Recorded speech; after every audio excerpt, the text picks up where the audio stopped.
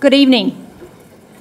On behalf of the Institute of Politics and the Kennedy School, I'd like to welcome all of you to the John F. Kennedy Jr. Forum. My name is Jeanne Shaheen. I'm the director of the Institute of Politics here at the Kennedy School. To begin this evening, I'd like to recognize some very important people who are especially important to tonight's event. First, the patron saint of the Institute of Politics, Senator Ted Kennedy, and his wife Vicki.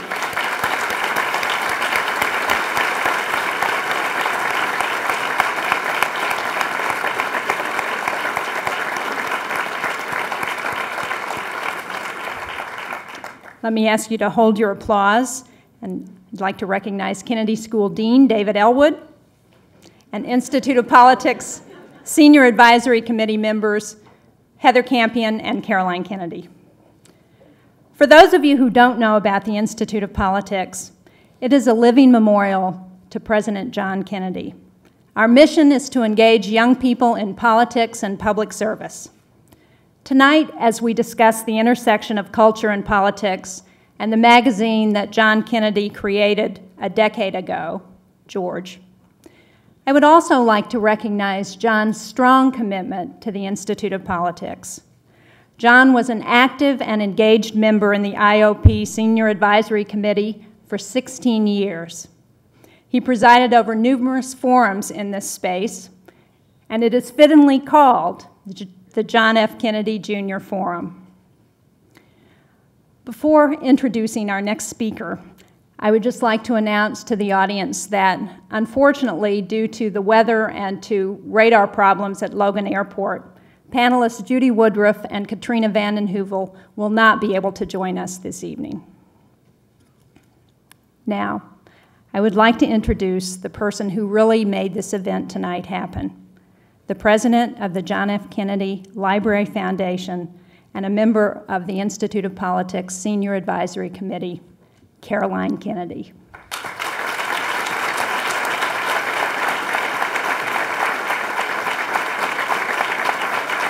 Thank you all. Thank you, Jeanne. And thank you, Dean Ellwood, for hosting all of us here tonight. Um, it's hard to believe that it has been 10 years since John launched George Magazine. Um, we are here tonight to discuss its premise, its impact, and the current state of culture and politics. But I would like to say a few words about what the magazine meant to John personally. Starting George, a lifestyle magazine aimed primarily at women and young people, was a bold and unconventional move, which is why it was perfect for John. It combined his interests and allowed him to channel people's expectations and the pressures on him to enter politics in his own direction. It was fun, inspiring, controversial, intellectually stimulating, creative, and hard work, just like John. And in its time, it was the center of attention and debate, just where John liked to be. John particularly enjoyed reading me an article that claimed that throughout history, revolutions were led by second children. Dissatisfied with the status quo that worked so well for their older siblings. John was one of those revolutionary spirits. He wasn't afraid to take on the orthodoxies of the day or of the family. He went to Brown, not Harvard. He loved Ronald Reagan and interviewed Fidel Castro. He preferred to start a business rather than run for office. And he worked hard for people that others ignored. He founded Reaching Up to help caregivers of the disabled, and he was always interested in juvenile justice.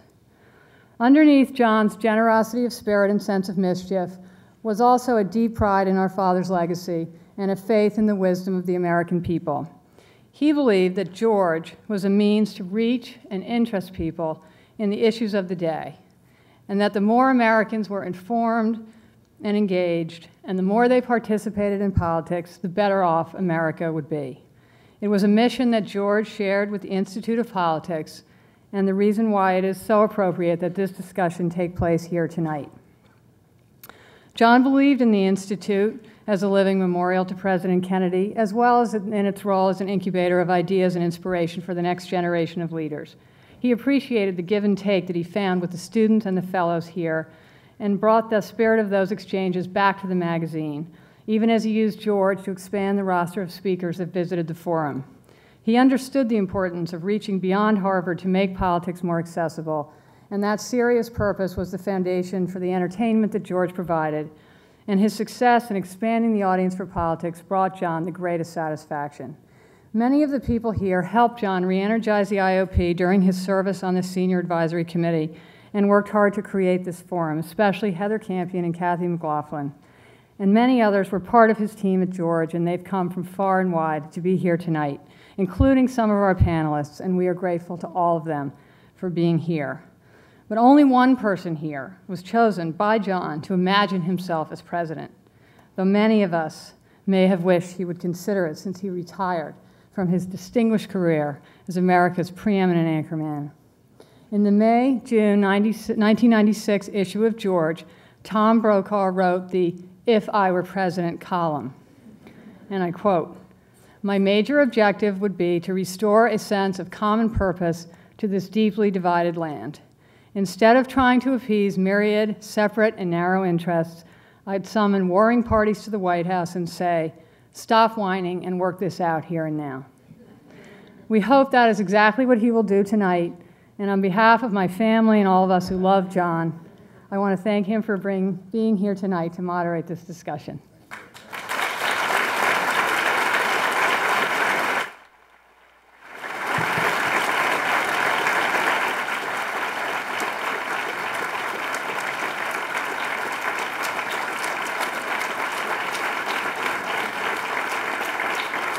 Thank you all very much. Thank you. Thank you all very much, Senator Kennedy, Caroline, um, Caroline, I don't know whether it occurred to you, but as I was watching you introduce me, I thought about that day about 25 years ago when I came to Harvard to speak, and you were an undergraduate, and with one of your cousins, you gave me a 90 second tour of Cambridge at 65 miles an hour in your beamer. I could see us in the police blotter before the day was over, and it worked out that well. Uh, I am always thrilled to be part of any proceedings here at the Kennedy School of Government, particularly at the Institute of Politics, but I always feel like I'm coming through the back door because when I was a young man out in the Great Plains, there was a Harvard alum who thought that I might be a candidate for admission to Harvard.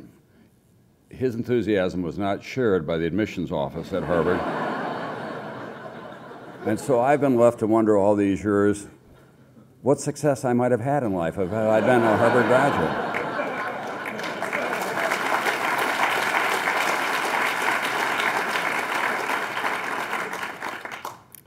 I accepted Caroline's invitation to appear here tonight with great enthusiasm, personally and professionally. Personally, because I so admired John Kennedy as a, not just as a popular icon of his generation, but as a young man committed, really, to the fabric of what makes up this great country of ours.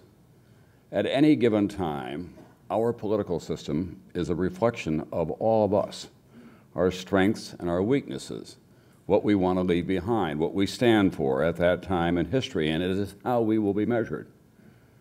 And John, who could have done anything that he wanted to do, wanted to force this country to look at politics in new and refreshing ways.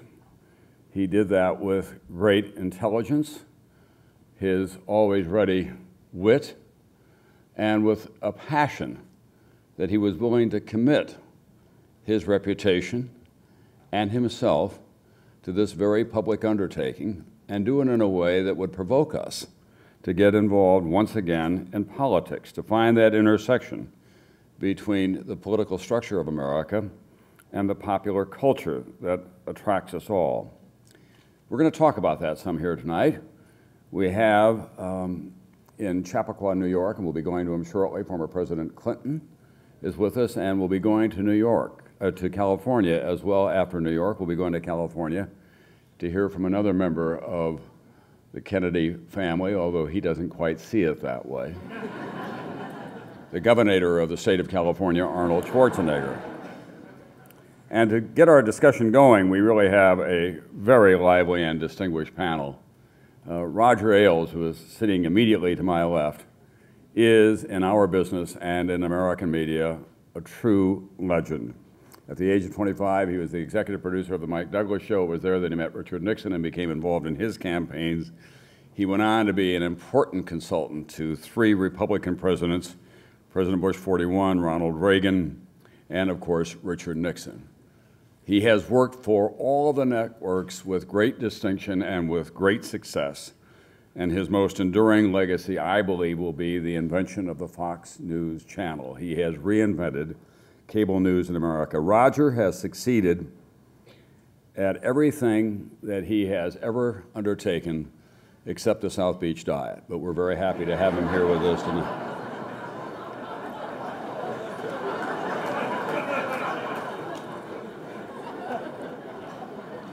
Actually, it worked. You should have seen me before. Jehmu Greene is um, the son, uh, the daughter of, of, of Liberian uh, exiles who came here and enrolled in graduate school. And as we were talking earlier, she is the embodiment of the American dream and what makes this country so great. She is, as you know, the president of Rock the Vote. Before that, she worked in the Clinton campaign, and she was also the Southern representative for the Democratic National Committee. And politics, as it's practiced in this country, has become a great passion of hers. She's also a frequent commentator in uh, the print and on television as well. Paul Begala, a political consultant and commentator who rode out of Texas and rode to glory with James Car- Carville when they worked on the campaign of Bill Clinton. He is exceptionally well known, of course, for his commentary on Crossfire and other television programs and for his books, including Is Our Children Learning? The Case Against George Bush. Paul Begala, however, may be the only member of this audience who does not have his TiVo set to Jon Stewart and The Daily Show. Roger, let me uh, begin with you. One of the notions that John Kennedy Jr. had was that there is this intersection between politics and culture, and they interact in ways that we don't always acknowledge. Has the right side of the political spectrum in this country invented a popular culture to support its ideology, or did the culture of the left just create an opening for the right? I don't know. I, I, I do know that, uh, that John, John and I were having some dialogues about marketing and reaching younger viewers. Uh, I was impressed with his sense of humor and his belief that we don't have to hate each other, that we can have different points of view, that we can have some laughs, that we can do it in a kind of humorous way. And it reminded me of a lot of people say entertainment's crept into the news. We get accused of that in the news business. The news actually crept into entertainment. Back when Walter Cronkite started, I believe they were running around CBS saying, Is there enough news in the world to fill 15 minutes? Because remember those days? That was really a true story. now they've got 24 hour news channels and so on. Is there enough news in the world to fill 15 minutes? Because people were involved in all sorts of other things. I remember, because I knew him quite well, in fact, managed him at one time in my career, Mort Sahl, who was one of the great comedians who uh, really came into his own in the 50s and then the 60s and so on and went on. Great political comedian. And I produced a show called The Mike Douglas Show, which Mike was a nightclub singer and basically, um, you know, interviewed people, but had mostly people from show business we began to introduce a serious segment in that show in the 1960s. I was 25 years old producing this national television show, and we did a week of, of uh, political people as co-hosts. And I remember having Hubert Humphrey, uh, his, his wife was on, and then Hubert Humphrey came in and we filmed in his home in Minnesota and so on. This was in a show that um, was basically um, an entertainment program, comedians and singers and so on. And we would do that core segment in the 60s. Martin Luther King was a guest on that show three times that I know of. Um, and uh, actually, the senator's mom was on the Mike Douglas show, because I have a picture with her probably in 1990, 1966, 67, sitting with Mike Douglas. So they, even back then, uh, this was beginning to change. John recognized it, uh, appreciated it, had fun with it, enjoyed it, and created a product But have you taken it to, have you taken it to new and different levels, both at Fox and how you market and program Bill O'Reilly and Hannity and Colmes? And has, you were also a consultant to Rush when he was on television, you've been very close to him. Has that taken the popular culture into the political arena in a new way that is an advantage to those people who were right of center and didn't feel that they had a culture of their own before?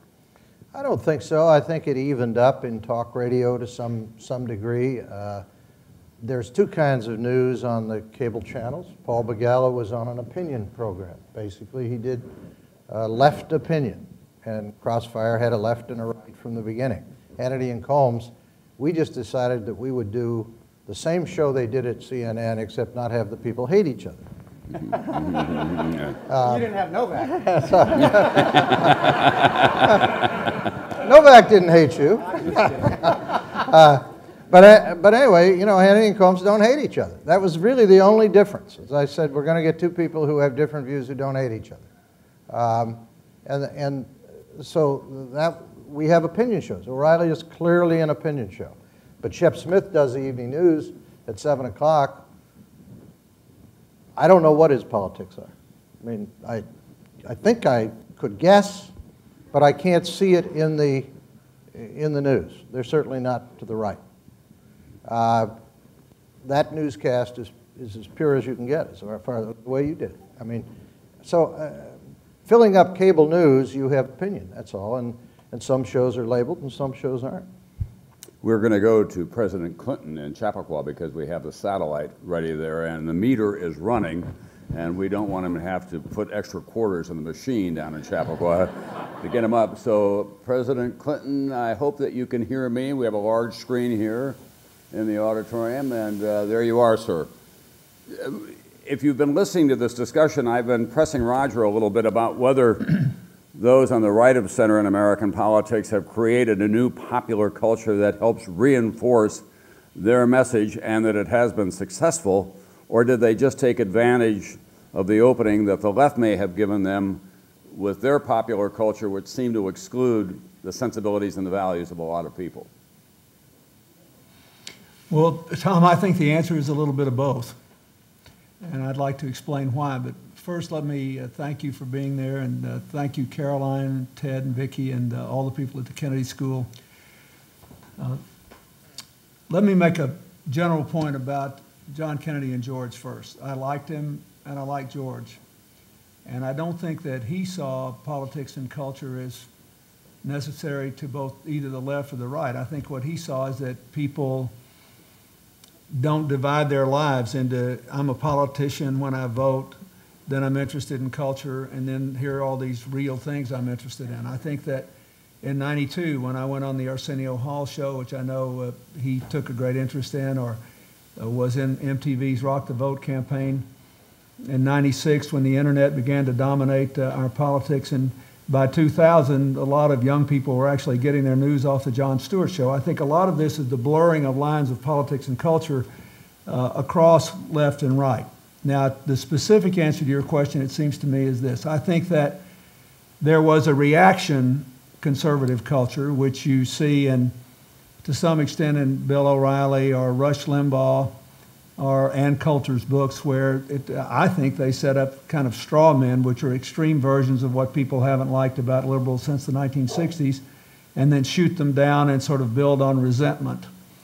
But in addition to that, there's an affirmative conservative culture that, uh, like liberal culture, is communitarian. And you see that in these big mega churches uh, that are all embracing in the suburban areas of around cities in North Carolina, for example, where you have thousands of members of churches in suburban Chicago and elsewhere, where you have preschool programs, you have choirs, you have single programs, you have programs for alcohol and drug abuse, you have programs to keep marriages together a whole bubble culture, and but it's very communitarian. And so they come forward to fight AIDS or fight poverty in Africa or help people in emergencies like Katrina. The only difference in that and kind of the positive, progressive communitarian culture is that it's also somewhat exclusive. That is, you, have to believe certain things, and if you don't, you're not part of that. But I do think it's still a, a kind of communitarianism, and that I think has been created. You know, it's that exclusivity that worries me a little bit. That we have these litmus tests in both parties now, and unless you meet all the litmus tests, you're not welcome in many ways. And yet, we see the heroic work that you and former President Bush are doing, first with tsunami relief and now in the Gulf coastal region. Do you think that in some ways that you're in the forefront of a turn in this country in which people are going to want to work together outside of their ideological lines for common solutions to these overarching common problems that we have? Well, I hope so. We- We've seen it uh, periodically in the past, but I think after the Cold War was over, there was a period of time when a lot of people thought there were no consequences to extreme ideological partisanship, but there are serious consequences. Uh, our country, I think, is around here after over 200 years because we've had two broad based parties, one generally to the right of center, one generally to the left of center. They actually changed places after Theodore Roosevelt left the White House. The Republican Party was the liberal party from Abraham Lincoln through Theodore Roosevelt. And then we changed part, places for the last 100 years or so. But we also had room for conservatives in the Democratic Party and liberals in the Republican Party. It was not as emotionally satisfying, perhaps it's not as intellectually satisfying, but enabled us to work together to find common ground. And uh, that's normally how things are done in a democracy, in the, in the messy but progressive middle. It seems to me that one of the most important figures in American, for that matter, in the global arena today is Bono, uh, a great artist, but he is a man who is moving the tectonic plates of consciousness around the world. And he too may be the harbinger of change that will come. I don't think there's any question about that. I think they're, they're basically, since the end of the Cold War, three things have changed the face of politics. Um, for the first time in history, more than a majority of the world's people live under governments they voted in. And even in China, there are mayor's elections in 900,000 villages. Secondly, the internet is a political as well as an information tool. In the last election, you know this, for the first time since the advent of expensive television ads, both parties in the aggregate raised more money from small contributions than large ones because of the internet. When the tsunami hit South Asia, uh, about a third of American households made contributions, over half of them over the internet. We don't know what the numbers are in Katrina yet, but they're very high. Uh, and the third thing is the rise of the non governmental organization, the, the people who don't run for office but organize to solve problems. That's what my foundation does, that's what Bill Gates does. And Bono be, was able to bridge the partisan divide partly because he's got a deft touch and he's a profoundly intelligent and good human being, but also because when he goes to see Jesse Helms about AIDS or debt relief, uh, he doesn't bring any partisan baggage and he's not running for office. So people are free to hear him. And I think uh, Bill Gates has the same influence on education and healthcare. And of course, now that I can't run for anything anymore, I actually get some Republicans to help me from time to time, and we work together. So I, would like to see that happen in the political arena more. You know, when it's funny because when I was a governor, every year I ran for office, my vote went up among Republicans. I didn't know that I was some sort of space alien until I went to Washington and learned that people think differently there. That it's, and I think partly it's because there people are too divorced from the from the daily lives of people in Washington. You get there are too many intermediaries kind of painting pictures for you in the public.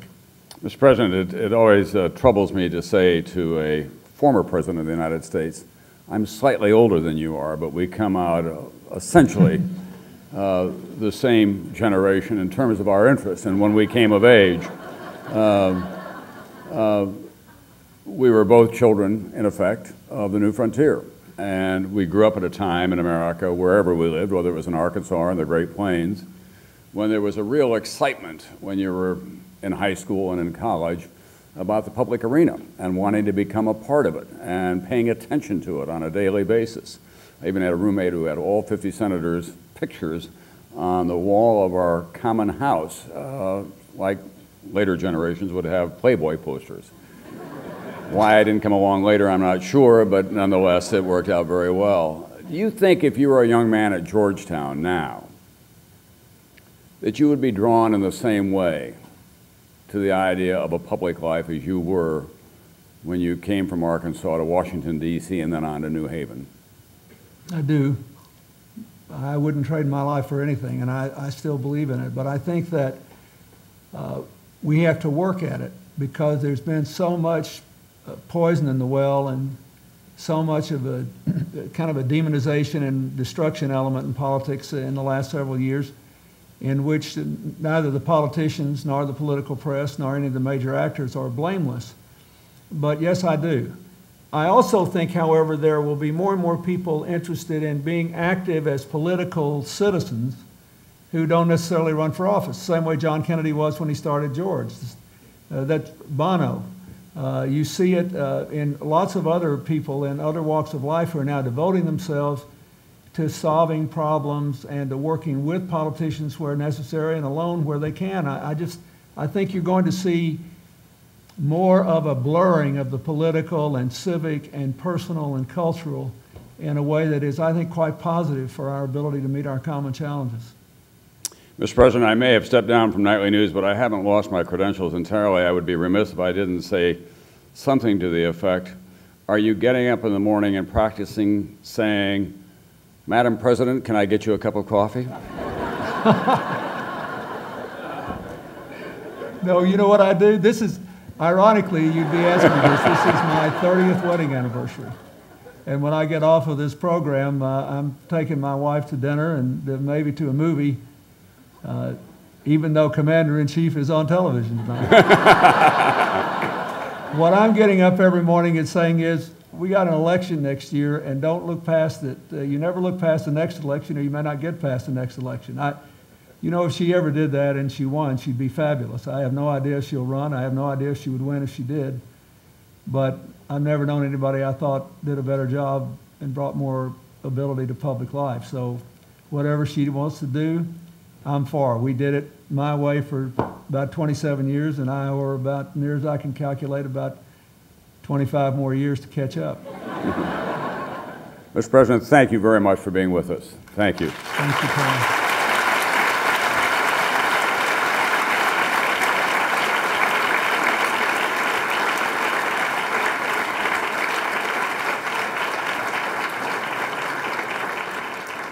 Jehmu, you work a lot with young people.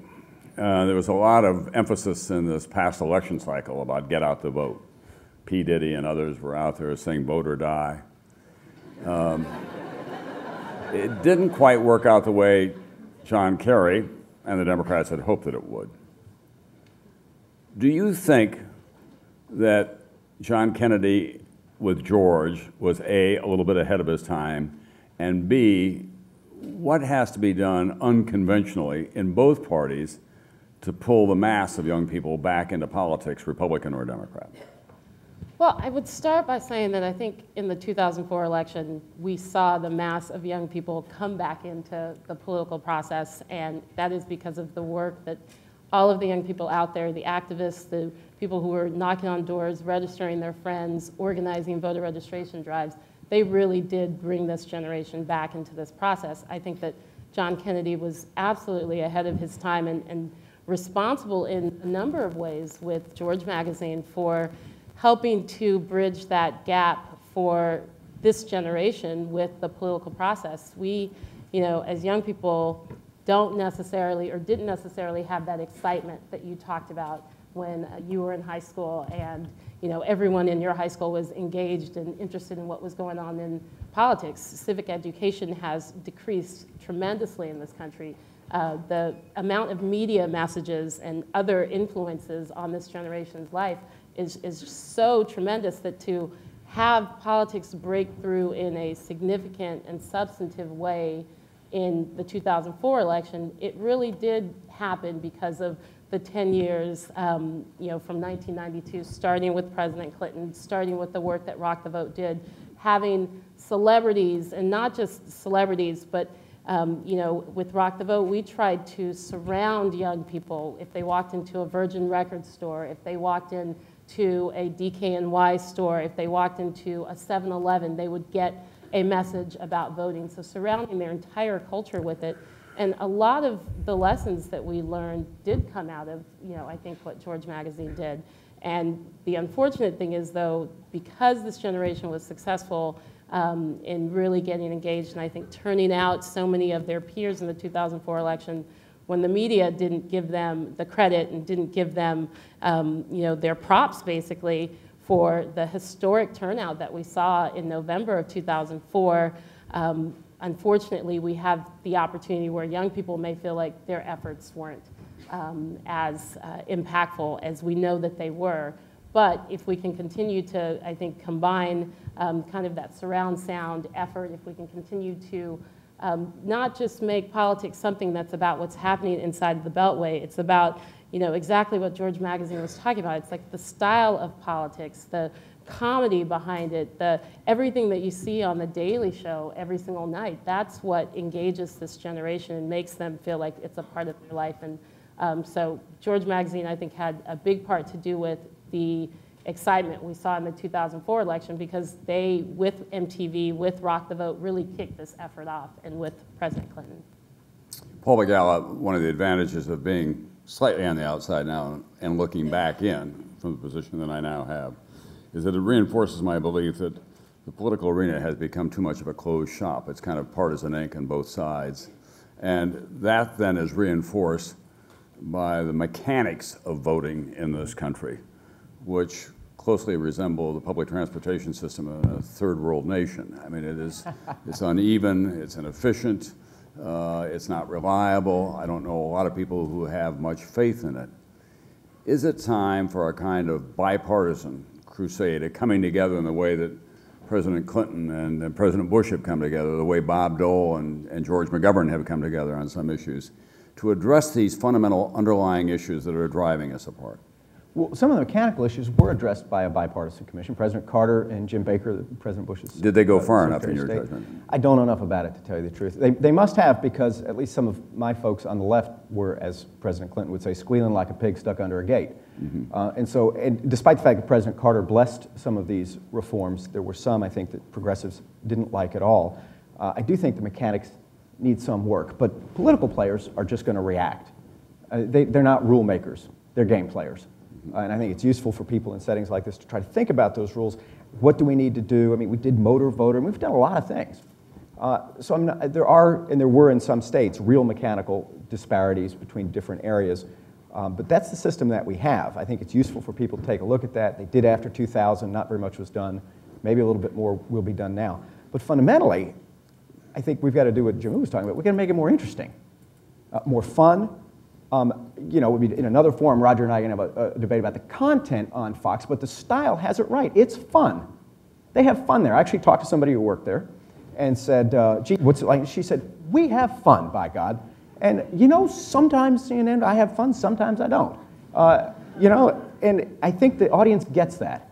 I think that they, that, and, and with politicians, I mean, you know, I, golly, spent 11 months traveling around the country with Bill Clinton. We had fun.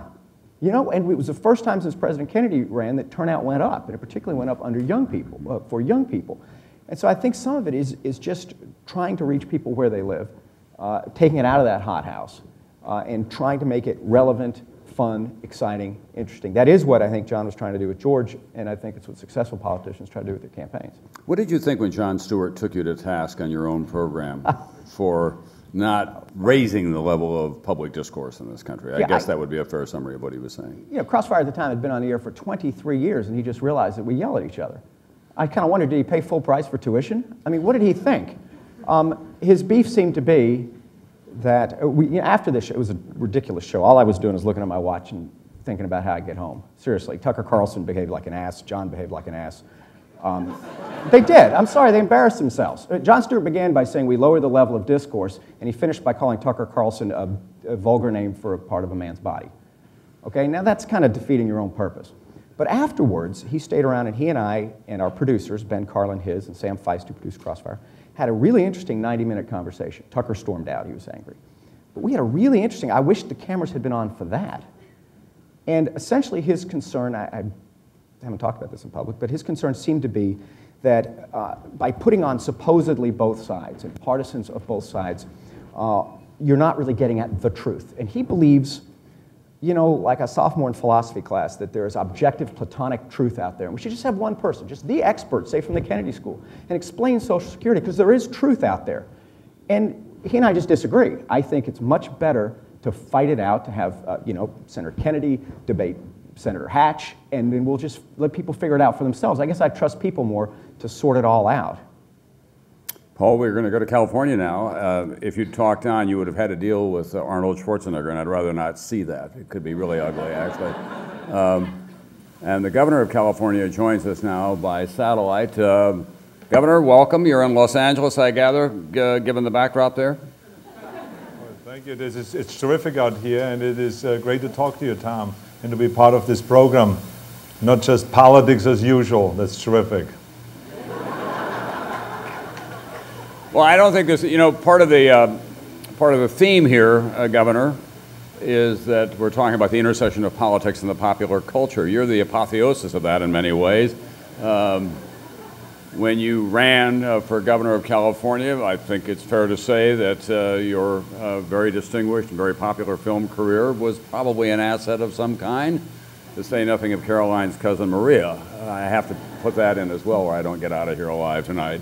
Um, but now that you have been governing and in difficult circumstances, we all know, um, tell me uh, about the techniques that you learned, not just as an actor, but as someone who knew how to sell Arnold the movie star and how they come into play when you're dealing in the political arena. Well, first of all, I was very fortunate, Tom, that when I was in school in Austria, I went through vocational education where I learned how to be a salesman. So I always learned how to sell anything, if it is bodybuilding, or if it is my movies, or if it is policies, or to sell myself as I could be the next governor of California. So that was always, you know, something, a strength that I had. But I think coming from uh, the entertainment background, I think it was definitely helpful because people were more interested in watching that campaign. And as you could see, even just the way we announced the candidacy on the Tonight Show, all of that was different. Our whole campaign was different. The approach was different because it was always the idea to bring more people in and to make more people participate in the political process. And I think because of that, we had record turnouts uh, during the election, uh, which was really terrific to get more people involved. But now you're bumping up against some very well organized interests in California, uh, representing really a wide spectrum in that state. Uh, once the excitement of the election is over and the campaign is over, is it more difficult to use those same techniques to go against, say, the nurses in California or some of the uh, public service employees who are not happy with what you have in mind? Well, first of all, Tom, I don't have to go against the nurses. I'm with the nurses, and I'm also with the firefighters and with all the other hardworking people. I'm against government employee union uh, bosses. I'm against the bosses that are trying to run the state of California. And I think that the rule is basically the same as it was two years ago, which is that I have to go directly to the people of California because I can see that the legislators are a lot of times in the pockets of the big government employee union bosses, and therefore I have to go to the people, and that's what I've done during my recall election. I go out directly to the people. The people have been my partners, and I think that the people will be my partners in this election also. I don't care about all the fights and all the attacks that the, that the unions are doing on me. I mean, I go directly to the people, and I think on November 8th will be Judgment Day where the people again will vote for true reform in California. I have the people as my true partners in this. And you'll say, I'll be back on November 8th, I presume. Trust me, Tom, I will be saying I'll be back. Governor, um, I know when you first took office out there, uh, one of your adversaries, but really one of your allies, was John Burton, who was in the state senate in California at the time. He comes from a long, uh, distinguished Democratic family in California. Uh, you had differences about how uh, the state should be organized, but nonetheless, he would come into your office and you would work things out. He was then sent out of office by term limits. And now that you're governor, and you look around at people like John Burton who are no longer there, or people who've served for some length of time, had to go back to their hometowns because of term limits, do you think it's a good idea to have term limits or not? Well, I think that uh, people trying to do anything and everything that they can to change politics as usual and to change the way things are in, in Sacramento or in Washington so. So I think it's their way of expressing to say, look, I think that in order to change the system, we maybe should put term limits on it. That is, you know, every one of those things has disadvantages and advantages, and it's an endless debate, should we have term limits or not. I think it is a good idea to have term limits, but there are some people that are very qualified, like a John Burton that you're talking about. There was a terrific leader, and he was an honest man, and that I could work with them uh, and with him specifically, and we could really go and uh, come up with bipartisan solutions to the problems. No, so I had really a terrific time working with him, and he was very helpful in my first year in my administration. You are a Republican. What kind of pressure do you get from the National Party or even from California Republicans because of your positions, say, on choice or on stem cell research? Are they saying, come on, Governor, you've got to get over here on this side of the line with the rest of us? Well, I think that you have talked about this just earlier with President Clinton. I think it is uh, uh, much better if we make decisions based on what is best for the people of California or the best the, for the people of America and not worry about what is a Republican idea and what is a Democratic idea. I mean, when you think about stem cell research, this is something that will help Democrats and Republicans. Why someone draws the line in the sand on this issue, I have no idea why that is. And there's many other issues, if it has to do with the environment or if it has to do with business decisions or you know, taking, uh, getting rid of some of the regulations of businesses in order to make our economy stimulated and make our uh, businesses boom again and create more jobs and all this. All of this stuff has nothing to do with politics. It's supposed to be just what is best for the people. And the same is, you know, when you think about the traffic, one of the main complaints that we have right now here in California is that people are stuck in traffic. We have so many cars. We have an increase in population of 500,000 people every year, and we as the government do not build enough, uh, you know, infrastructure in transportation. That's an issue. People, Democrats and Republicans, are getting stuck in traffic. So I mean, that's an issue that is ought to be addressed in a different way. Like, what is best for the people of California? What is best for the people, rather than what's best for our party or what's best for our special interest groups that are supporting us, what's best for the labor unions, what's best for the business, corporate American orders. I don't think we should make decisions based on that. Always in the end, it is what's best for the people. Governor, finally, um, as you know, a member of your extended family is here, Senator Kennedy. Uh -oh. Is there any uh, message that have we we lost the earpiece? Thank you. Thank you. We got it right here, Tom. Okay. I, I was worried for a moment there when, as soon as I mentioned Senator Kennedy's name, you took your earpiece out.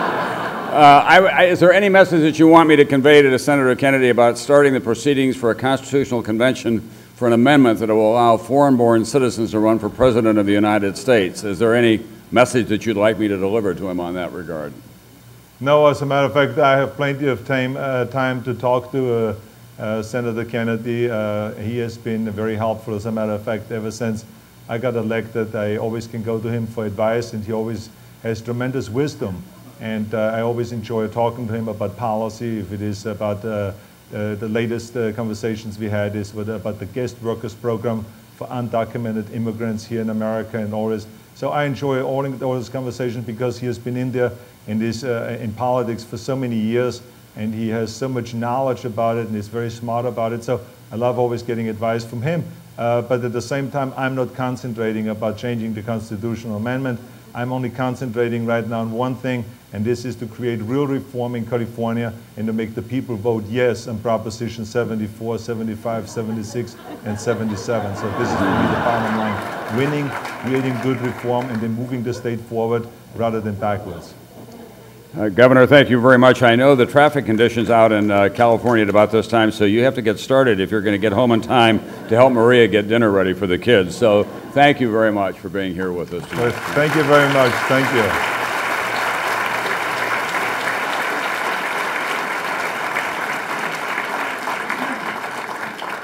Now, I have a moment of full disclosure I want to share with you. I knew Arnold before he was Arnold. I lived down in Venice Beach in California, and there was a coffee shop that I would stop in in the morning on the way to work, and Arnold would be in there getting his power shake and quickly would ask me about California politics and the national scene. He went on to become Arnold Schwarzenegger, obviously, and I also knew Maria from the time that she was working on her father's campaign. And so serendipitously one night we were all in New York together and there was Arnold and I was talking to him and I walked away and Maria said, do you know him? And I said, yes. She said, kid, I'm dying to meet him. I introduced him and it went on from there. So this past, this past, uh, this past February I said uh, at a dinner at which we were all there, I said that I knew them before they knew each other. Then I knew them as boyfriend and girlfriend. Then I knew them as fiancés. I knew them as bride and groom, husband and wife, mother and father. Now, governor and first lady of California. And I always like to think that I can get ahead of the curve, so I like to raise a glass to Madam President and first husband Arnold Schwarzenegger. Maria's side of the family liked that a lot. I'm not so sure the, the governor did. Um, we want to go to the audience for questions here in the time that we have left. We've got about 20 minutes left before we uh, get to uh, Senator Kennedy, who was described as the patron saint of Massachusetts politics, emphasis on both parts of that description. Um, but before we do, I just want to quickly ask Roger and Jehmu and Paul whether they think we're at a moment in history in the political arena when there's about to be a sea change. I don't mean in terms of the balance of power in Congress or in the White House, but that the country is beginning to say, stop. We can't continue the culture of blame that seems to have affected our politics. We saw it firsthand in the Gulf Coast from the bottom up and the top down, both parties. And is there a, is there a chance that the country will kind of rise up and say, quit playing these deeply ideological partisan games left to right and back again? Paul? No. No, I think we're going the other way. Um, I, I, think there's a couple of causes. I, I, Democrats who tend toward the center, like President Clinton, Republicans who tend toward the center, like Governor Schwarzenegger, are more the exception than the rule uh, we're going through a great sorting out among the parties. President Clinton talked about how there used to be a lot more conservative Democrats, used to be more liberal Republicans. Uh, some of it is regional. You know, I grew up in Missouri City, Texas. The whole state's congressional delegation was Democratic until a guy named George Bush got elected to the House from Houston. Now the majority of my state's congressmen are Republicans. Vice versa up here. You know, when I was born, Massachusetts, it was, th these were bastions of Republican uh, strength in the Northeast uh, the, the, president's grandfather was a senator from Connecticut, which now has two Democratic senators. So some of it is regional, but some of it is ideological.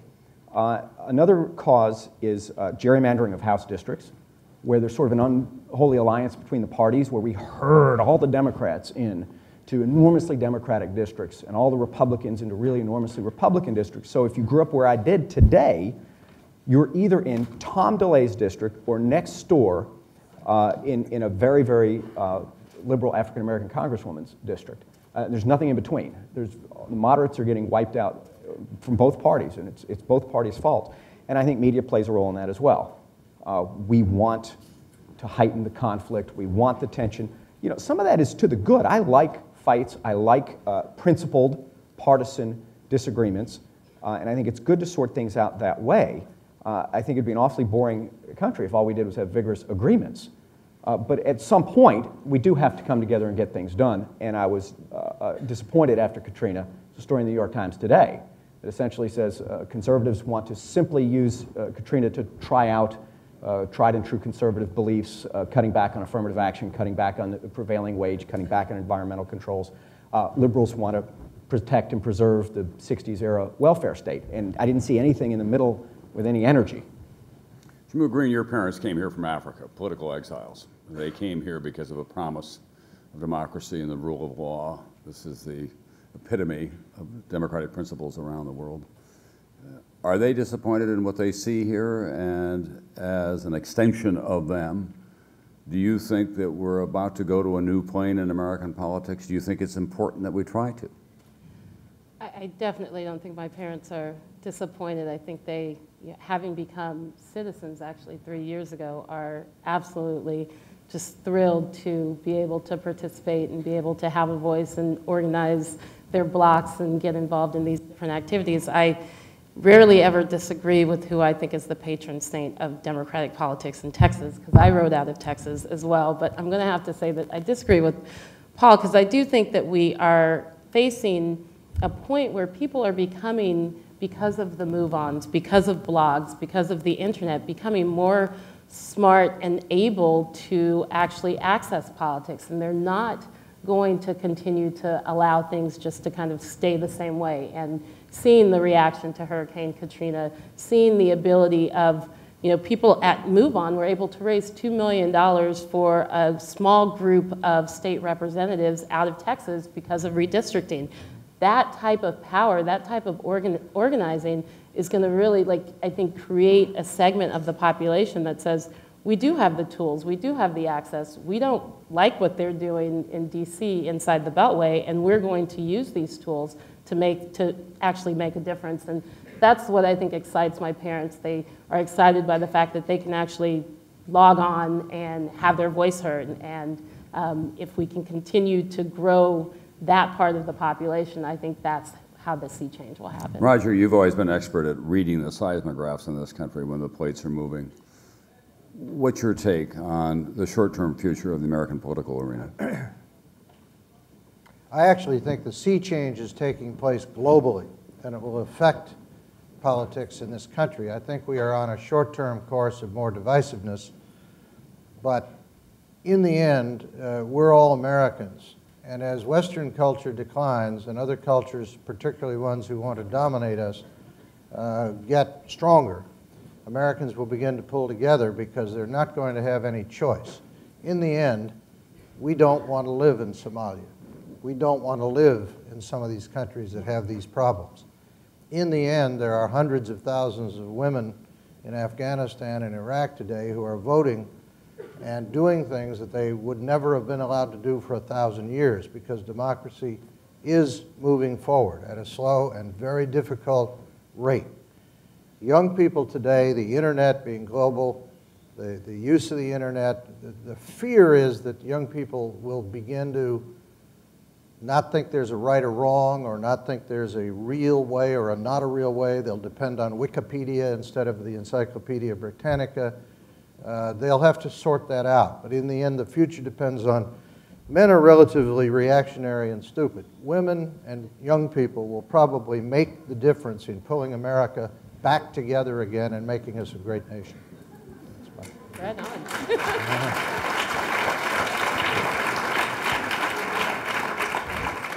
Okay, young people, you have your assignment. Report back here tomorrow. Put the country back together. Question from the audience, please, if we can. Hello, I'm Raul Prabhakar. I'm a freshman at Harvard College. And this question is generally to the panel. And it raises a, it extends Mr. Brokaw's question, which Mr. Schwarzenegger didn't answer, um, which is, do you believe immigrants to America, like me, who have become full-fledged citizens, um, should they be allowed to run for president? I'd have a compromise. I would, I would, I would, Senator Kennedy, I'd have you and your colleagues sponsor an amendment that would allow Governor Schwarzenegger and other uh, non-native born Americans uh, to end that discrimination in our Constitution against them, and at the same time repeal the 22nd Amendment so we could reelect President Clinton or President Bush if we wanted to do that. Those are two uh, restrictions on the presidency that I think do, do not serve the country well. So why don't we repeal them both and have at it? Let Schwarzenegger run against Clinton. It might be an interesting race. You don't think he'd welcome that, do you? as long as it's not. What do you think, Roger? Contest. Do you think that we'll? Do you think we'll ever get a constitutional amendment that will allow foreign-born in our lifetime? Yours and mine, Well, which could be another weeks. 30 I mean, minutes. what we- what got here? I You know, we- I remember you down at the beach too with this. I mean, uh, uh, The, uh, he wanted to be Arnold, but it just didn't work out. He had a better voice, not the body, he had the voice. Uh, Yeah, I think that someday, but not in our lifetime, I think that everything's evolutionary. I, you know, I have a different view of, you know, immigration than most. I think we, we keep talking about the quantity of, the number of immigrants coming here. That's never the issue. We have plenty of room. We could double the number of immigrants. It's quality. It's people who come here to want to be Americans, who believe in our system, who want to live by the laws and the rules and, and salute the flag and say what a great country this is and freedom's wonderful and we, let's try to bring it to everybody. So it's an issue, in my view, that as more and more immigrants come, and they should, but they should come through a door so we know who they are. We, they should come through. We should allow them in. We should try to help them. We should, you know, we have, we don't require English in this country. Nine countries require English, some of them who have sworn to kill us. So when you call to get your American Express balance, you have to talk to a guy in Bangkok. You should be talking to a guy in Philadelphia or Newark or Waco or someplace else. Uh, you, you can't outsource both the manufacturing jobs and the service jobs. So this is a great country. We've got to welcome all the immigrants. And eventually they will become able to run, I think, for, for any office in the land. Yes, sir.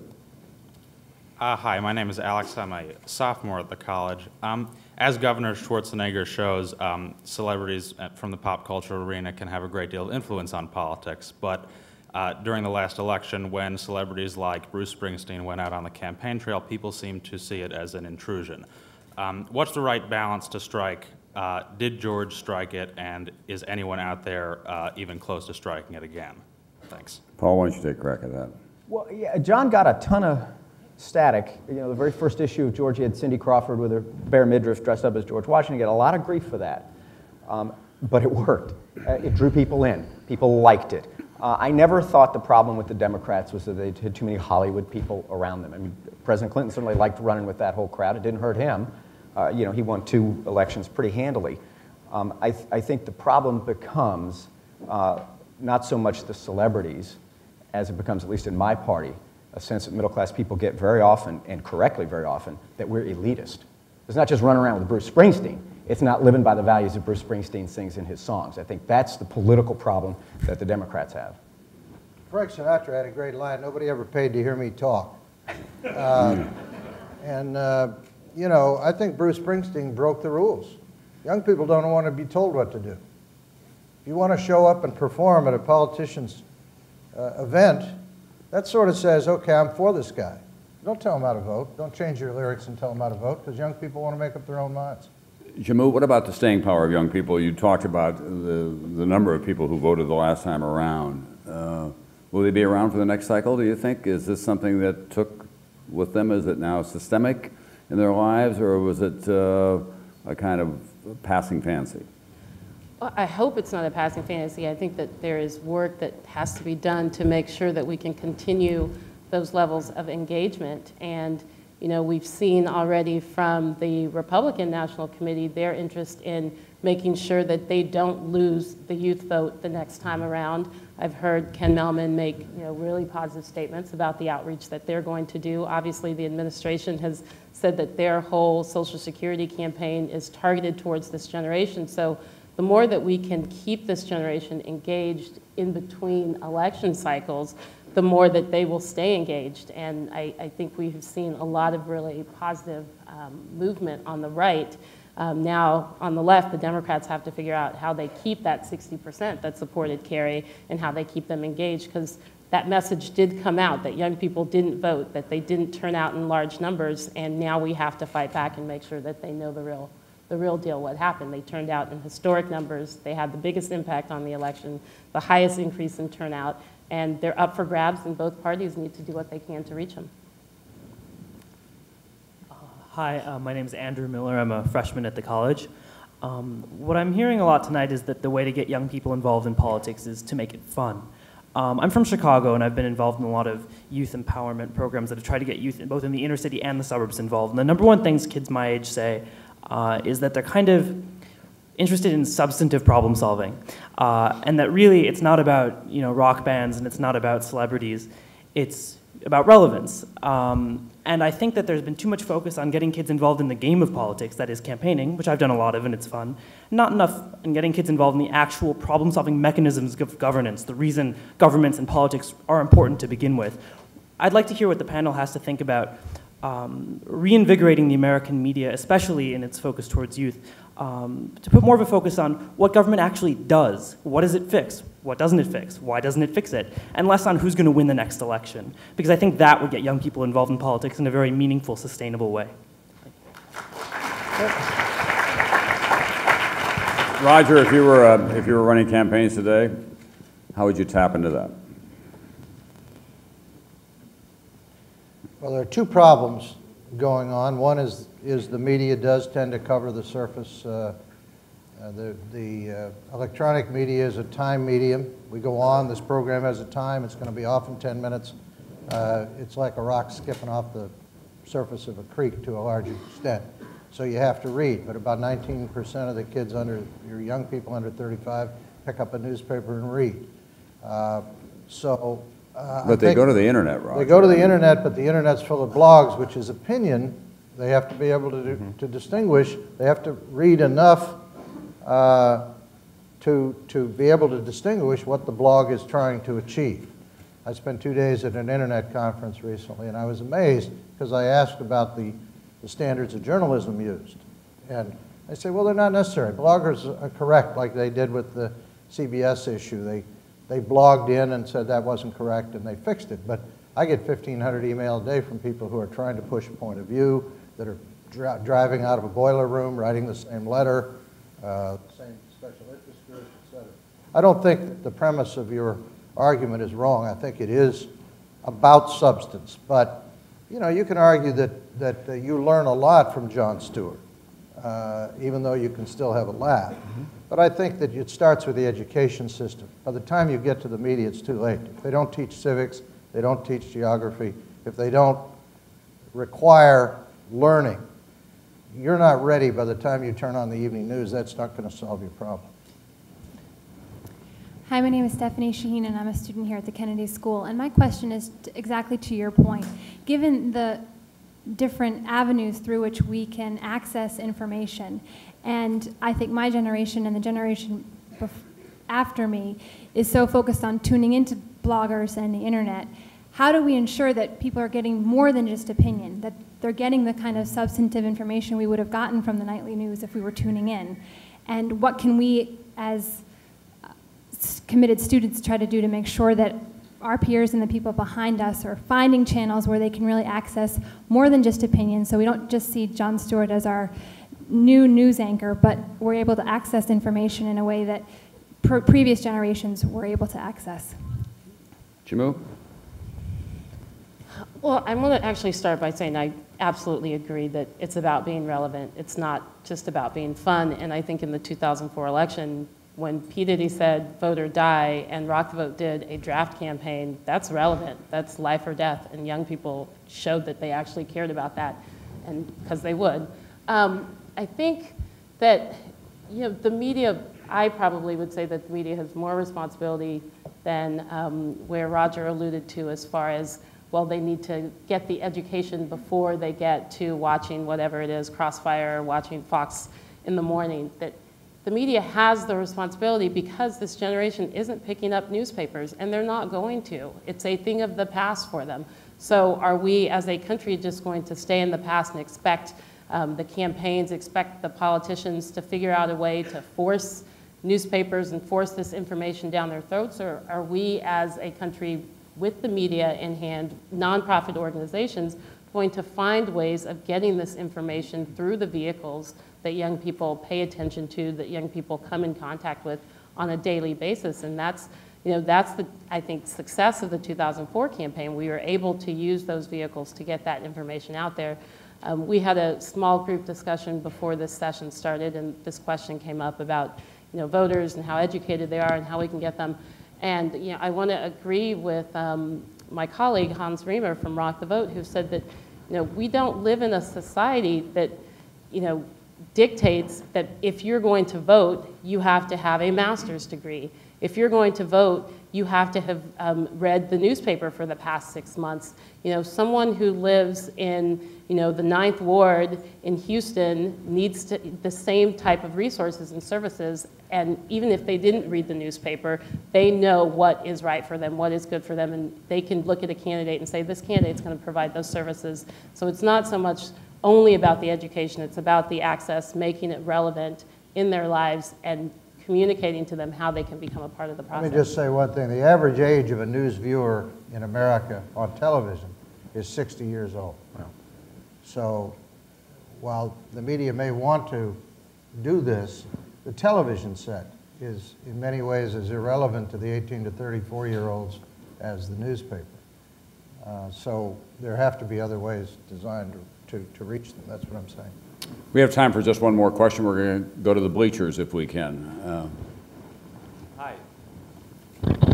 Hi. My name is Adam Estes, and I'm the president of Current Magazine.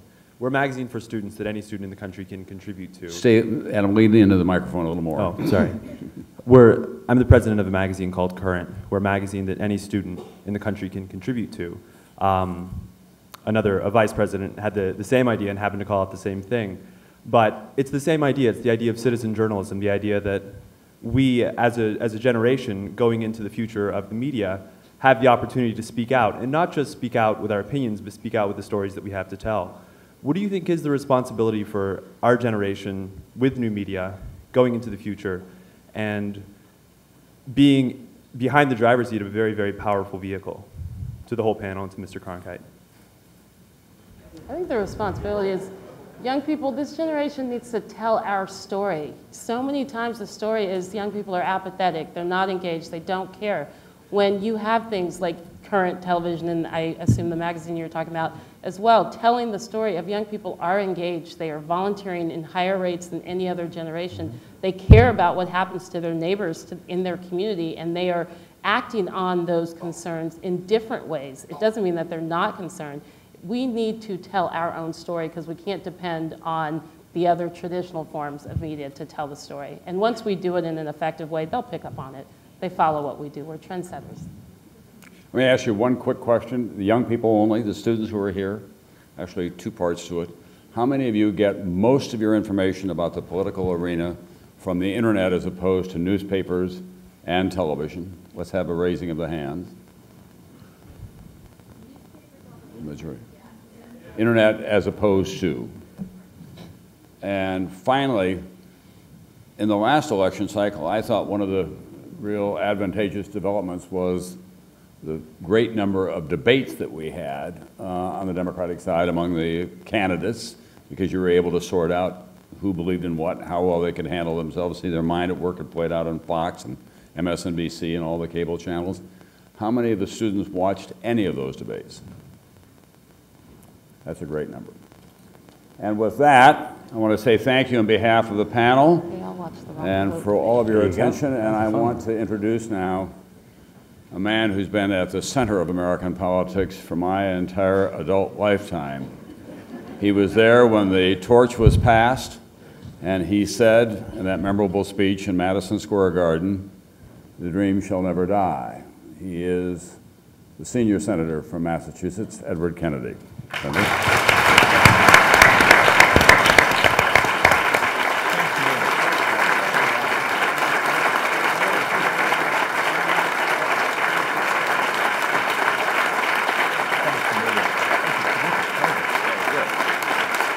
Thank you very much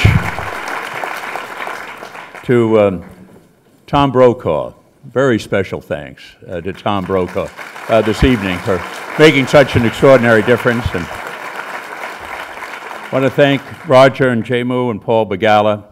And I, I want to thank Governor Shaheen for all of her wonderful work here at the Institute of Politics. She's doing an outstanding job, and we're very, very grateful, grateful to her.